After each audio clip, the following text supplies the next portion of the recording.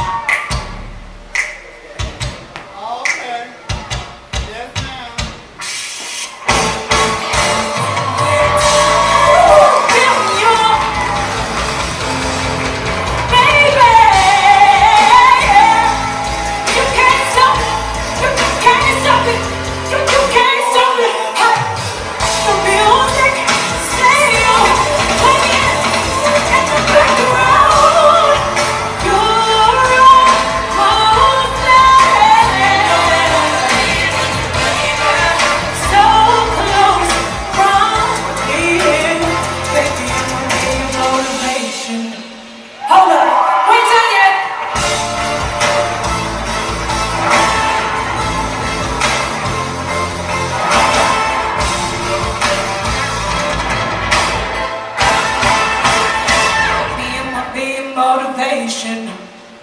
Yeah.